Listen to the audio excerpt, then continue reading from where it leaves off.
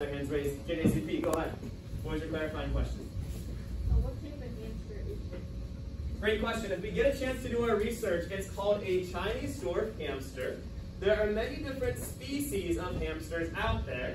If, wait, dwarf would mean it's probably very, yeah, a little or small. So it's not going to be as big as some of the ones you might see in the pet store that are called Syrian or teddy bear hamsters. Those are like bigger than the size of my fist. This guy, he's not getting much bigger. Uh, wait, we have a question over here and here, and then I promise we'll get to you. See it, right? Yes. Go ahead. Right up here. I'll get your name. You have to help me out. What's your name? Oh, does, when the hamster goes, does this slide down that? Uh, so it doesn't actually slide. That's fascinating. It actually uses the ridges on the tube to be able to kind of like crawl down. Think of if you've ever gone to an amusement park and you know those nets that you can use. It kind of like spreads its legs out. This is the weirdest thing. But when he's scared, he actually